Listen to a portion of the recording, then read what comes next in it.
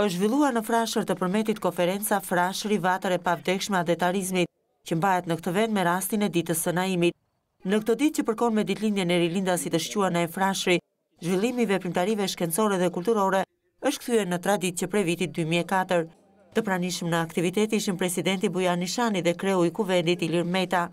Nishani do ta quante Frashrin Mekën e Rilindjes Kombëtare Shqiptare, kurse kryeparlamentari Meta u shpreh se në vend asnjë mbiemër tjetër nuk ka atë nderim, mirënjohje dhe respekt si mbiemri i vëllezërve Frashëri.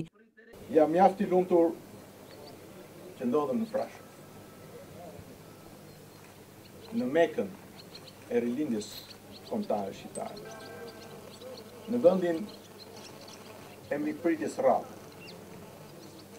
Në djepin e njerëzve të shquar dhe patriotë, në hapësirën e tolerancës fetare, në trevën e mrekullueshme të turizmit, kopshtin e luleve dhe gjelbërimit të përhershëm, poezisë, muzikës, këngëve popullore.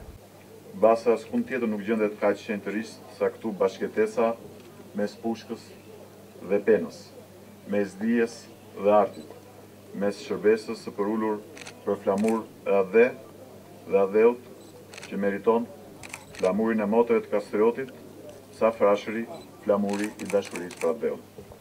Në Frashër jemi të gjithë më shumë shqiptarë, sepse gjejmë këtu një pafundësi arsyesh krenarie për rrënjët e hershme dhe frymëzim për të nesërmen tonë shqiptare dhe europiane.